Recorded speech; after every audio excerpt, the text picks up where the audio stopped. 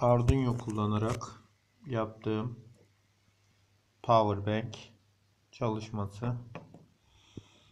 Ee, devrede 3 tane modül var. Bir tanesi Arduino.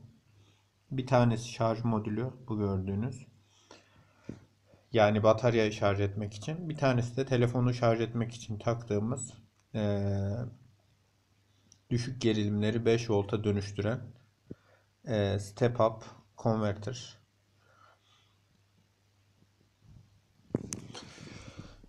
Devre basit. Aslında çok daha basit olabilir. Ee, Arduino kullanmadan da bu devreyi yapabilirdik. Ama bataryaların geriliminin 3.7 voltun altına düşmemesi gerekiyor.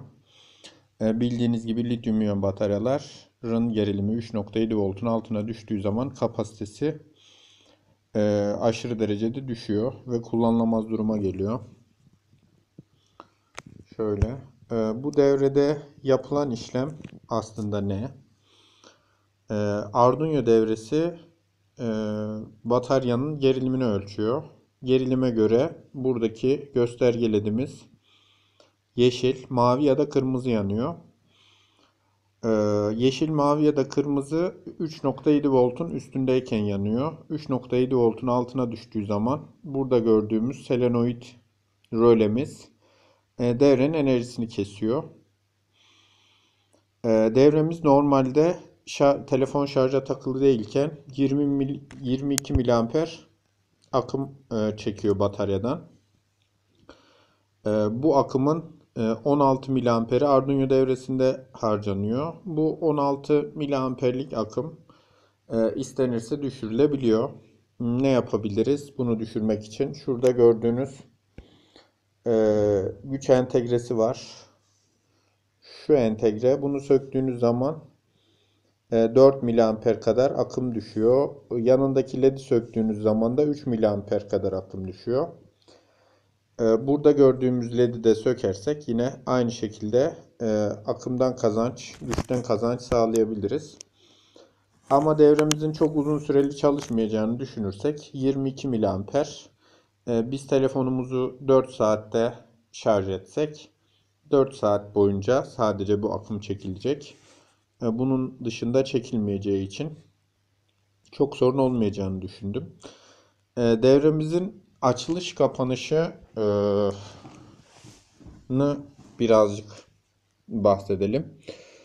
Burada selenoid rölemiz var. Bu röle çok özel bir röle. Açıkken ya da kapalıyken akım çekmiyor devreden.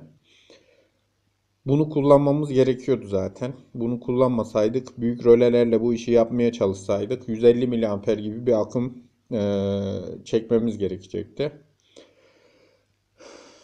Devremiz şunu yapıyor. Gerilim 3.7 voltun altına düştüğü zaman bu röleden ana e, devrenin enerjisini kesiyor ve bu saniyeden sonra artık devremiz pilden akım çekmemeye başlıyor. Devreyi e, tekrar e, açık konuma getirebilmemiz için e, şarj etmemiz gerekiyor. Şarj ettikten sonra da on butonuna uzun süreli basmamız gerekiyor. Eğer yeterince şarj edemeden butona basarsak devre yine kapalı konuma geçer. E, devremizle işimiz bittiği zaman şarjımızı yaptık. Devremizle işimiz bitti. Artık akım çekmemesi için de burada gördüğümüz off butonuna basarak devremizi kapatıyoruz. Şöyle basalım kapansın. Gördüğünüz gibi devrenin tüm enerjisi kesildi. Bu devreyi tekrar açmak için on tuşuna basılı tutuyoruz. Gördüğünüz gibi devremizin gerilimi şu anda 4 voltun üzerinde olduğu için yeşil lamba yanıyor. Bu kadar. Bunu daha şekilli yapabilirdim ama e, sonra artık. E, bu bataryaları artırabiliriz bataryanın sayısını. Şimdilik 3 tane ne kadar kapasite yapacak? Bakalım. İzlediğiniz için teşekkürler. Devrenin dosyalarını temelelektronik.info adresinden indirebilirsiniz.